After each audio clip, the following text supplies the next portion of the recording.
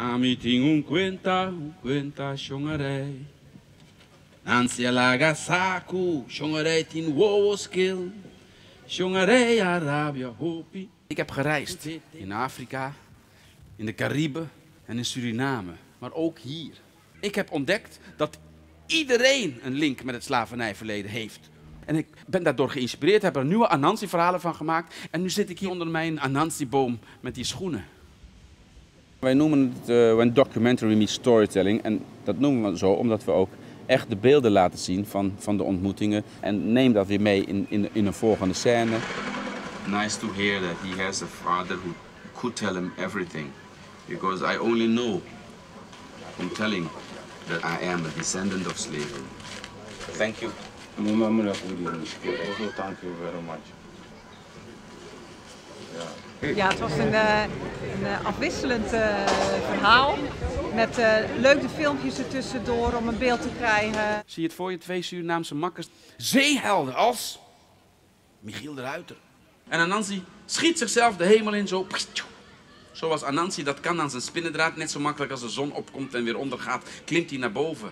De kracht van het verhaal is gewoon een hilarische voorstelling.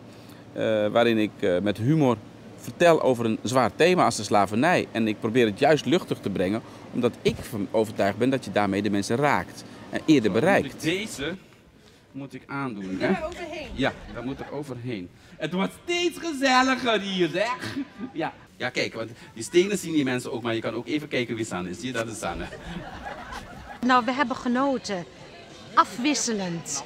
En uh, dat we niet alleen maar in dat verleden moeten blijven hangen, maar ook naar vandaag moeten kijken. En dat heeft hij op een fantastische manier verteld. Zwepen, zwepen, zwepen tot die vrouw rauw van het vlees op haar rug stond.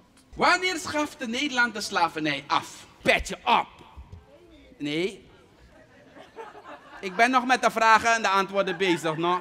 Het maken van nieuwe Anansi-verhalen vind ik heel belangrijk, want feitelijk is het altijd zo geweest. Door de eeuwen heen transformeren die verhalen altijd met de mensen mee.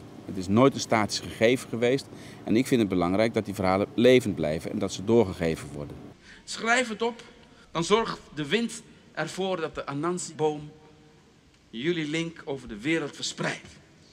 Zodat er nooit slavernij zal zijn. Shongarei Arabia Hopi, Sutete Marduga.